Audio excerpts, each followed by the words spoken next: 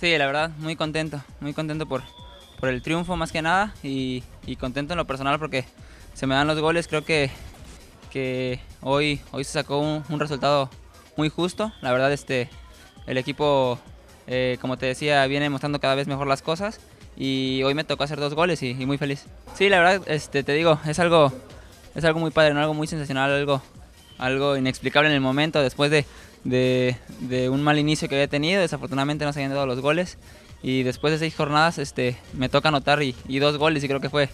fue algo muy emocionante, te digo, no te lo puedo explicar, pero, pero eh, estoy muy tranquilo por, porque se empiezan a dar las cosas. Sí, la verdad este, no, no, no es casualidad, el, el, el partido de hoy creo que, que, el equipo venía mejorando, venía mejorando y, y, este, y tanto los jugadores, el equipo, el cuerpo técnico, la afición merecían un, partido como este y creo que, que hoy se brindó y hoy se vio reflejado lo que se trabaja en la semana. Sí, cada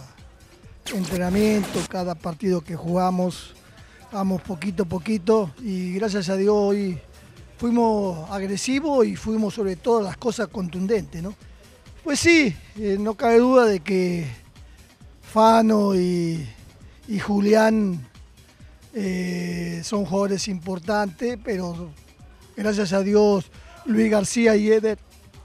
eh, resolvieron el, partido porque ellos fueron los que hicieron los, los goles.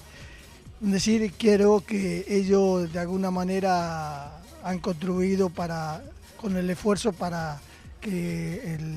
Guamuchi ganara, ¿no? Yo creo que sí. Eh, Eder no se pudo haber olvidado de hacer goles. Eder no se pudo haber picado a las puntas. Eder no se pudo haber olvidado de jugar yo creo que más que nada eh, eh, aprovechó las, las, ocasiones que tuvo, hizo los dos goles y se perdió otro, pero eh, creo que ahora además va a tener un poquito más de tranquilidad a la hora de resolver si, si, si se pronuncia, si se hace alguna, alguna jugada de cara a la portería. ¿no?